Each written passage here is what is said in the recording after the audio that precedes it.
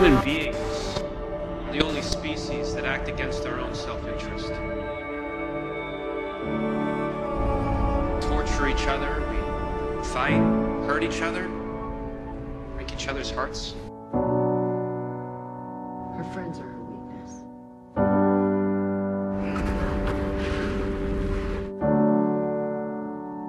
I'm sorry.